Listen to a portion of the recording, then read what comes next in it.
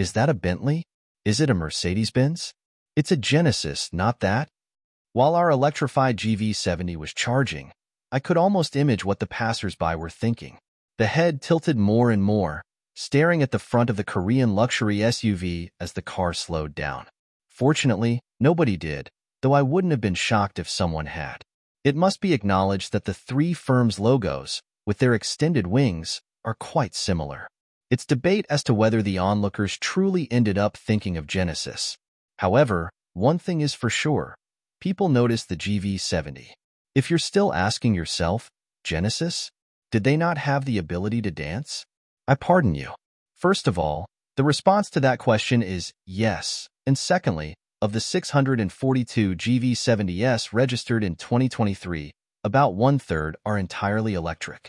Therefore, it's likely that you haven't passed one yet. If you had, you may have witnessed and remembered the same event. With its beefy appearance and narrow double headlight design, the electrified GV70 is a striking sight. What's more, with its honeycomb grille, it actually reminds you of the British luxury brand based in Crewe at first glance. It's understandable that you turn around again.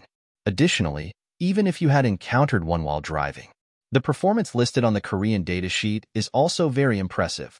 When the boost is engaged, the front and rear engines produce 360 kilowatts, which enables the SUV to accelerate virtually silently from 0 to 100 kilometers per hour in 4.2 seconds. You would have most likely seen it and entirely forgotten to speed yourself if it had happened next to you.